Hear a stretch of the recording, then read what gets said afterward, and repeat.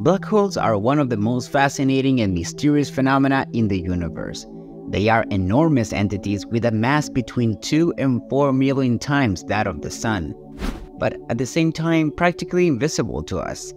Until recently, we knew very little about them, but thanks to the research over the last two decades, we have learned more and more about these enigmatic objects.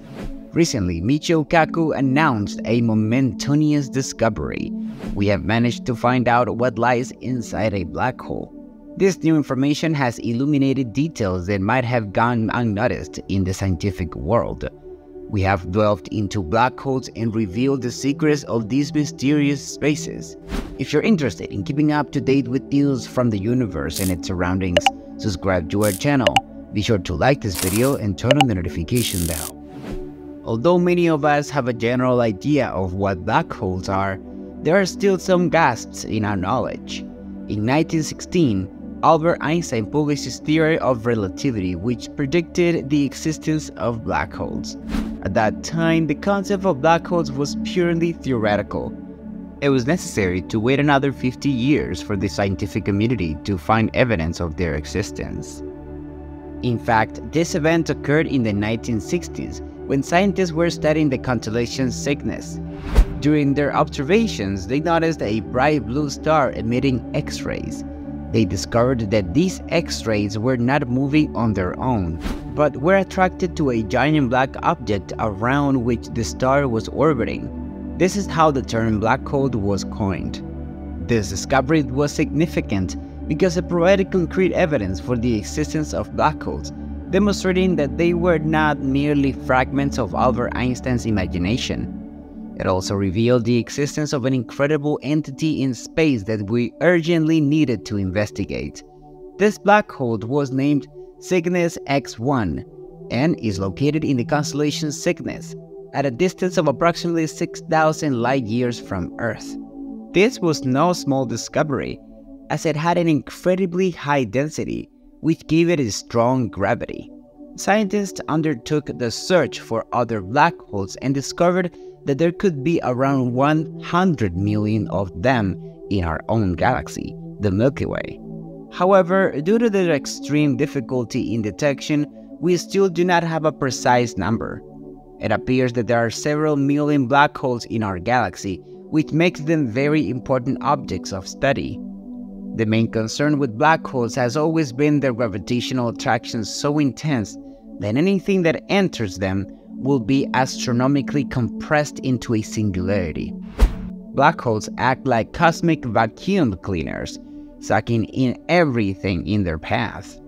One of the most disturbing parts of black holes research is the fact that if someone were to fall into one, they would be stretched to the point of becoming a single line. This process would occur slowly and the person would die before the final form is established. Therefore, it is safe to say that no one should venture into a black hole. However, since these objects are present everywhere, questions and concerns arise as to whether we are really in danger. Even though the closest black hole to Earth is 1500 light years away, which is still close enough to raise questions and concern. In 2021, scientists managed to publish the first clear image of a black hole, specifically of the black hole M87. For several consecutive nights, photographs of the black hole were taken, and with each image, researchers collected more evidence about it. It was necessary to combine the individual photographs to obtain a complete image that filled in all the gaps. In this way, the scientists discovered that black holes are not just simply an empty hole in the void, as many people believed. In reality, they are much more complex. To reach the empty part of a black hole, three previous layers must be traversed. The first layer is known as the event horizon, which is the point of no return. Once the event horizon is crossed, there is no turning back. The second layer is the photonic sphere, which is the region where light orbits around the black hole. Any light entering this region will be trapped and will not be able to escape the gravitational pull of the black hole. Finally, the third layer is the singularity. This is where everything that enters the black hole is astronomically compressed into a point of infinite density. The singularity is a point in space-time where the laws of physics as we know them break down. You're probably wondering what lies beyond the third layer called the singularity, right?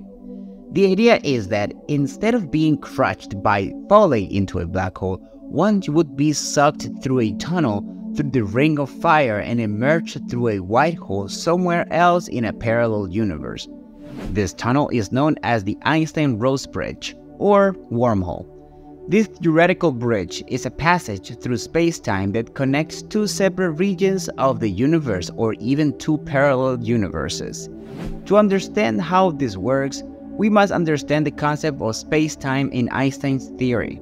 According to this theory, space and time are not separate entities, but are connected, forming a four-dimensional fabric known as space-time.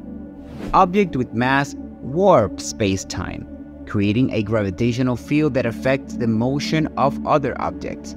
To visualize this, we can imagine a sheet of paper representing space-time. If we place two points onto the paper and draw a line between them, we are representing how objects move through space-time. Now, let's consider folding the paper in half and creating a shortcut between those two points. This basic idea is what is known as a wormhole. It is a shortcut or connection through space-time that joins two distant points in the universe.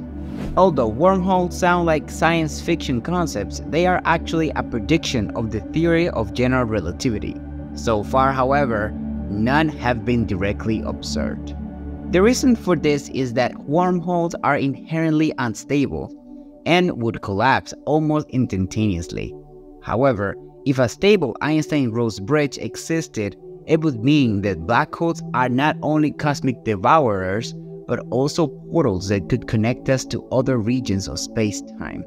The question then arises whether we could use a wormhole to travel through space and time.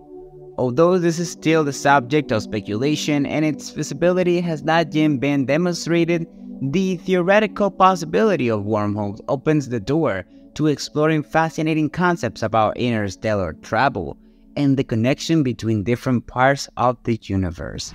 What do you think about it? Do you think wormholes are a mere speculation? I hope you liked the video. If so, don't forget to hit the like button and subscribe to the channel so you don't miss more content like this one. See you in the next video and thank you so much for watching the video.